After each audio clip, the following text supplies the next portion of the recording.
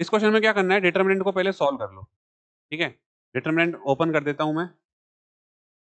Sine x x cube minus x minus cos x x की power four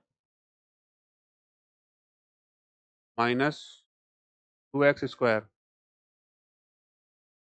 plus ten x x cube minus two x cube. ये हो गया हमारा F x और इसको किससे डिवाइड करना है? इसको डिवाइड करना है हमें एक्स स्क्वायर से। तो इंडिविजुअली डिवाइड कर दो। यहाँ पर भी एक्स स्क्वायर से डिवाइड, यहाँ पर भी एक्स स्क्वायर से डिवाइड और यहाँ पर भी एक्स स्क्वायर से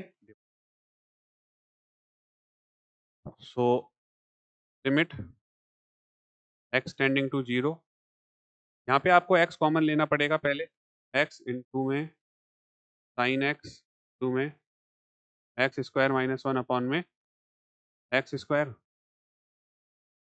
minus of x square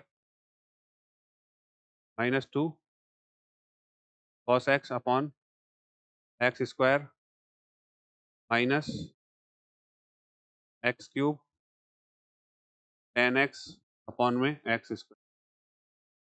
तो यहाँ पर जो ये एक्स है इससे ये एक्स कैंसिल हो जाएगा।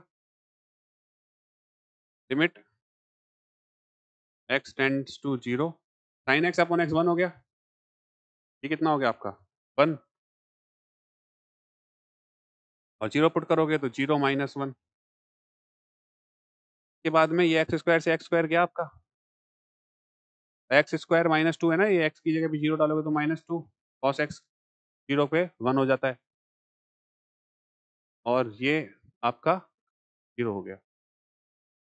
तो ये मेरे पास आ गया माइनस वन प्लस टू, यानी कि वन। तो डी, ट्वेंटी का डी ऑप्शन हो जाएगा।